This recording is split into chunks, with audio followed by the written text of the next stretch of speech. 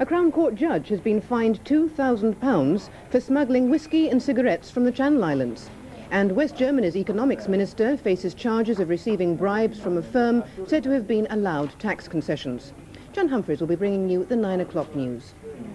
Thank you, Maura. And that just about brings the hour round uh, full circle. Tomorrow uh, we're going to have something about the demise of the English oak, rather like the English elm.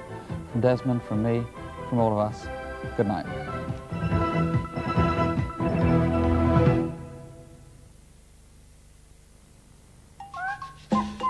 Tuesday night's television entertainment on BBC One. In a moment, angels and emotions are running high at the hospital. What do you expect me to do? Just let him hit you? Yes. That wouldn't have been very Very what? gallant. Oh, what a sweet old-fashioned thing you are. At 5 past 7, Harty and Hollywood personalities Zsa Zsa Gabor and pop group Modern Romance are among the guests. At 7.40, Don't Wait Up, and an evening out turns into a dramatic rescue mission. And during the fish course, he turned the most deathly colour. And then you gave him mouth-to-mouth resuscitation. Yeah.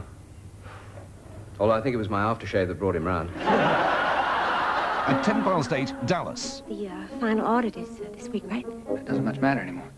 Don't take too much for granted. I never take JR for granted. At 9.25, An Englishman Abroad by Alan Bennett, with Coral Browne as the actress and Alan Bates as the mysterious Englishman she meets in Moscow.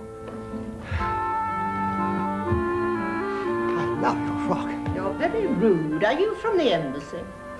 Not exactly. Well, there can't be many other Englishmen in Moscow. Who are you? I was at Cambridge. At 10.30, 3 at 1, a record of an unusual charity lunch given today by the Variety Club of Great Britain. And with highlights of the day's snooker at 11 o'clock, that's entertainment for Tuesday night on BBC One.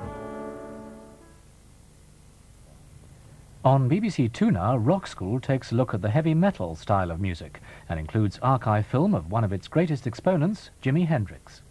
Here on One, more hospital drama with Angels.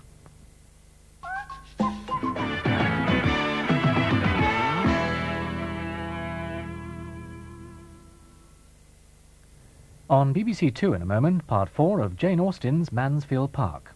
Here on One, it's time to join Russell Harty and his guests.